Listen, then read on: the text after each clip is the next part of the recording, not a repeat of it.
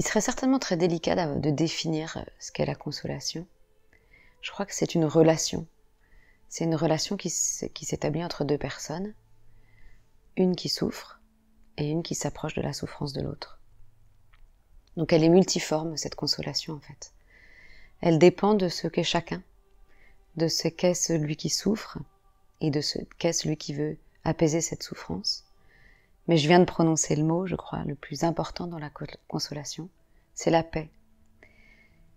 On se sent consolé, enfin en tout cas moi je me suis sentie consolée, à chaque fois qu'au cœur de ma souffrance, qui existait, qui continuait à exister, toujours aussi douloureuse, j'ai trouvé la paix. J'ai trouvé quelque chose qui est venu rejoindre mon cœur.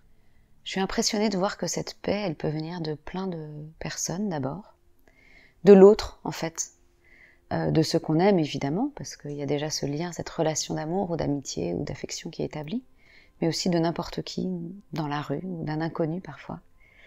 C'est vraiment être rejoint par une humanité qui nous dit j'ai pas peur de ta souffrance, tu peux y aller, tu peux la laisser s'écouler par cette plaie béante que tu vis, je, vais t'accompagner dans cette souffrance. Moi, j'ai été très marquée euh, un soir euh, où j'avais accompagné ma fille, ma deuxième fille à l'hôpital.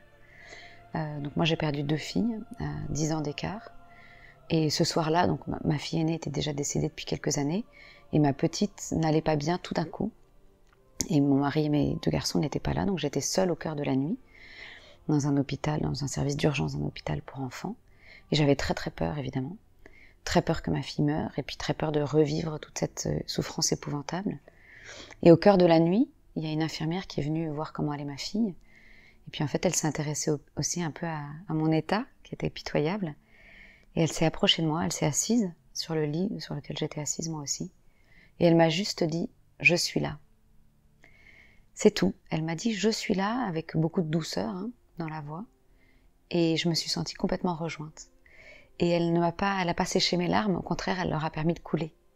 Il y a cette paix, en fait, dans la consolation, fait de dire, tu peux, tu peux souffrir. Tu peux souffrir, je suis là. Je suis là pour t'accompagner. Je suis là pour t'aider à supporter cette souffrance. Parce que dans la, dans la souffrance, en fait, il y a d'abord ce que l'on ressent, évidemment, le cœur brisé, le manque quand, euh, quand c'est quelqu'un qui est mort, mais pas que, il y a beaucoup de peur dans la souffrance. Et euh, étonnamment, je trouve que l'une des plus grandes peurs que l'on a dans cette souffrance, dans ces grands drames qui traversent la vie, c'est de pas être aimé. C'est de plus être aimé à cause de cette souffrance. C'est qu'elle nous isole du reste du monde. Vous savez, c'est Mère Teresa qui dit, ou qui a dit une fois, mais j'aime tellement que je le dis encore plus souvent à sa place, la plus grande des souffrances, c'est celle qui isole. Quelle qu'elle soit, en fait, quel que soit le support de cette souffrance, c'est celle qui fait qu'on se, retrouve tout seul, qu'on se sent au banc de la société, qu'on se dit qu'on n'est plus digne d'être aimé. Et quand on est approché par quelqu'un qui arrive le cœur ouvert pour accueillir notre cœur qui pleure, qui arrive avec ce qu'il est, avec ses peurs lui aussi, parce que c'est difficile de s'approcher pour consoler, on se dit qu'on n'est plus tout seul et qu'on est aimé. Et je crois que c'est cette paix, en fait, cette paix de se savoir aimer au cœur de cette souffrance-là, de savoir qu'elle va pas nous engloutir, nous engloutir, qu'elle va pas nous faire exploser le cœur. C'est cette teinture-là, hein, la souffrance. Il y a quelque chose de très physique, je l'ai dit tout à l'heure d'ailleurs, euh, et c'était pas innocent, le cœur brisé.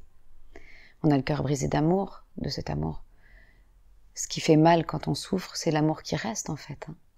Si on n'aimait plus celui qui est mort, par exemple, si c'est le cas d'un deuil, ça serait bien plus facile, on aurait juste la nostalgie du temps passé, mais on ne souffrirait pas.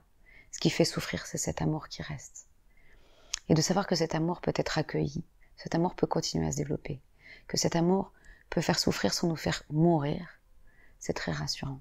Et ça, ça vient dans cette paix, dans cette paix que l'on ressent, qui n'empêche pas de souffrir. Consoler, on, peut, on pense souvent que quand on console, enfin, quelqu'un qui veut consoler se dit, je vais chasser la souffrance de celui qui souffre. Et c'est souvent ça qui nous empêche d'aller consoler, parce qu'on il y a des souffrances qui, qui sont abyssales. On se dit, j'y arriverai jamais à gommer cette souffrance, à la chasser d'un coup de baguette magique. Mais c'est pas ça consoler, c'est pas la chasser, c'est l'apprivoiser c'est faire qu'on n'a plus peur de notre souffrance, qu'on est capable de l'accepter dans notre cœur, de la laisser vivre dans notre cœur, avec tout ce qu'elle révèle comme fragilité en nous, comme faille, parce qu'on n'est pas beau quand on pleure, on n'est pas beau quand on souffre, mais de se dire avec cette souffrance qui habite mon cœur, qui habite ma vie. Je suis aimée. Et tout à coup, cette souffrance, de, savoir qu'elle est capable d'être regardée, d'être accompagnée, d'être aimée aussi, ça, ça lui permet de rester à sa place. Parfois, elle va prendre toute la place dans des moments de drame, dans des moments où les larmes explosent. Et parfois, elle est là juste tapis, en laissant aussi la place, heureusement, à la joie, à l'insouciance, à l'émerveillement, à tout ce qui fait notre vie.